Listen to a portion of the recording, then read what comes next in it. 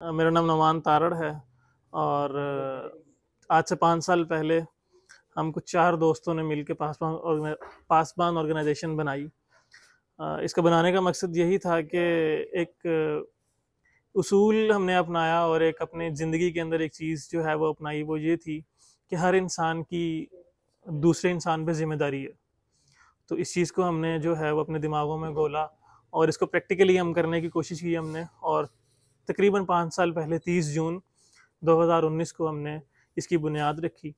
और सोचा यही था कि जो हमारे माशरे का पिसा हुआ तबका है, वो चाहे स्टूडेंट्स हों जो फ़ीस नहीं पे कर सकते, वो चाहे कोई ऐसा शख्स हो कि जो अपने मेडिकल में या किसी का ऑपरेशन रुक रहा है पैसे ना होने की वजह से, वो शख्स या किसी कोई ऐसा शख्स के, जिसके बच्चों की फ़ीस अदा नहीं हो सकी, या कोई ऐसा शख्स जिसके बच्चों का कोई यूनिफॉर्म स्कूल का नहीं आ सका और कोई ऐसा शख्स कि जिसके घर चूल्हा नहीं जल सका।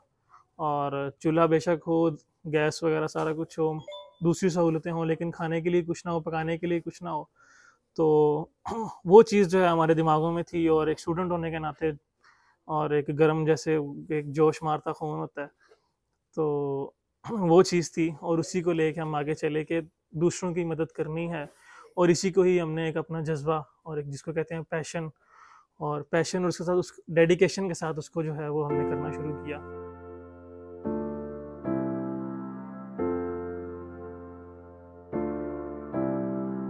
बिल्कुल बस ये अल्लाह ताला ने ज़िम्मेदारी लगाई हुई है और हम कर रहे हैं।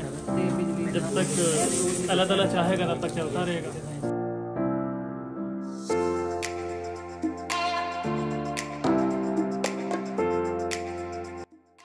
2021 में मैंने पासबान को एज ए मेंबर ज्वाइन किया था। कुछ देर काम करने के बाद मैंने एज अ जनरल सेक्रेटरी काम किया।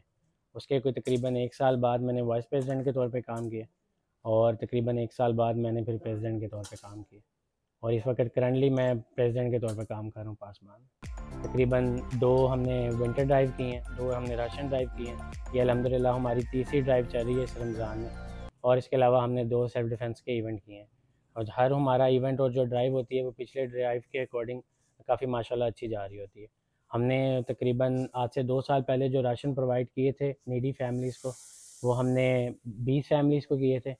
पिछले साल 2023 के अंदर हमने तीस नीडी फैमिलीज़ को राशन प्रोवाइड किए थे और हमने चार फैमिलीज़ को रिमोटली प्रोवाइड किए थे जो आउट ऑफ़ सिटी में थे। और इस साल अलहमदिल्ला हम लोग चालीस फैमिलीज़ को प्रोवाइड करने जा रहे हैं और तीन फैमिलीज़ को हम रिमोटली प्रोवाइड करेंगे जो आउट ऑफ़ सिटी है शुरू में जब हमने पासवान बनाई थी, इस वक्त हमारा एक थोड़ा स्ट्रिक्ट क्राइटेरिया था। लेकिन अब आपको पता है कि पाकिस्तान के अंदर अनफॉर्चुनेटली हालात बड़े ख़राब होते जा रहे हैं। लोग ज़्यादातर लोगों की जो परसेंटेज है मिडिल क्लास लो क्लास में आता जा रहा है upper middle class lower middle class में आता जा रहा है। तो हम लोगों ने जो हमारा क्राइटेरिया वो थोड़ा सा सॉफ्ट कर दिया है। जैसे फॉर एग्ज़ाम्पल हमने डिसाइड किया था कि हम लोग प्राइवेट यूनिवर्सिटीज़ के केसेस को नहीं लेंगे फीसिस के लिए। लेकिन अब हमने डिसाइड किया है कि वो प्राइवेट यूनिवर्सिटीज़ जिनकी फ़ीसें फोर्टी फाइव से सिक्सटी थाउज़ेंड के दरमियान में है, वो हम लोग ले लेंगे। इसके अलावा हमारा ज़्यादातर जो एक हमने, हमारा जो मेन मिशन होता है, वो होता है कि हमने मुस्तक लोगों के अंदर ज़्यादा मुस्तक लोगों को ढूंढना होता है। तो वो ज़्यादा मुस्तक लोगों का हमारा क्राइटेरिया होता है, जिसकी वजह से केसेस रिजेक्ट भी होते हैं और रिजेक्ट नहीं भी होते मैं ये लास्ट में पैगाम दूँगा कि पाकिस्तान के अंदर, बल्कि दुनिया में, अगर अल्लाह ताला ने आपको अच्छी तालीम अच्छा शौर आप समझते हैं कि आप कुछ चंद लोगों में से मौजूद हैं तो अल्लाह ताला आपको, आपके ऊपर ये फ़र्ज़ करता है कि आप दुनिया के लिए कुछ करें। और ये आखिर में आपसे सवाल होगा कि मैंने तुम्हें इतना दिया, तुमने मेरे लोगों के लिए क्या किया? तो आपने उनको बताना है कि आपने उनके लिए ये किया। तो इस तरह एक एक बात भी है कि जब कायद अजम ने सोचा था कि उन्होंने ये मुल्क बनाना है तो उनसे किसी ने पूछा था कि आप ये मुल्क बना लेंगे? तो उन्होंने कहा था, मुझे नहीं पता कि मैं बना सकता हूँ कि नहीं, लेकिन मैं बस इतना चाहता हूँ कि जब मैं मरूँ और अल्लाह ताला के सामने जाऊँ तो अल्लाह ताला मुझे कहें कि well done mister Jana you try your best